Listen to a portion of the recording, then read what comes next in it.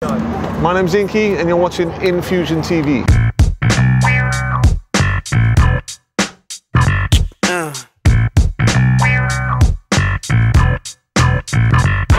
I'm a W I double L I N, linking up with the primo. Do it, do it. He's the T to the A to the B O O, linking up with the primo. Do it.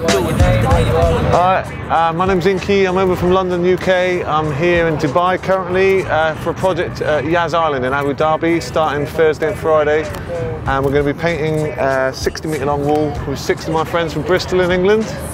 And hopefully, we're going to teach them some creativity to some of the young guys here in Abu Dhabi. I mean, really, it's just about practice. Really, I've been doing it 25 years, when I started out, I wasn't particularly that good.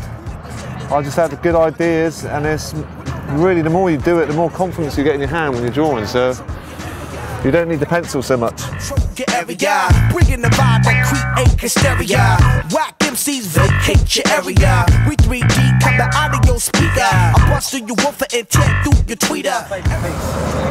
Favorite piece that I've done to date? Uh, it's probably a painting I did in um, the grounds of Chateau Marmont in LA for a, a private dinner with um, Paris Hilton and Jade Jagger and stuff.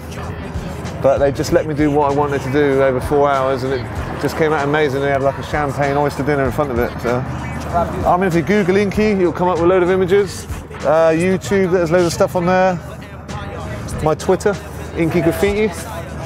That's I-N-K-I-E. Or uh, you can get it. Um, there's various websites and agencies I use. I sell, I sell a lot of screen print stuff. Serious talking about bullshit. Got money in cars, but can't bullshit. And your lyrics are sounding like some new new shit. While I'm holding the mic tight, recite living insight so we could all benefit. Well, I think I mean specifically, with like you know, if you look at the architecture here and a lot of the patterns and the, you know the detail that goes into the buildings here, there's a lot of artistic sort of heritage here. So I think, especially with Islamic calligraphy and stuff, it can be adapted into a style that kind of can suit the artist, I think, really.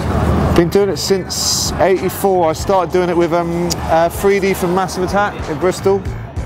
And then he got into the music and I carried on for about 25 years then. The, beat, the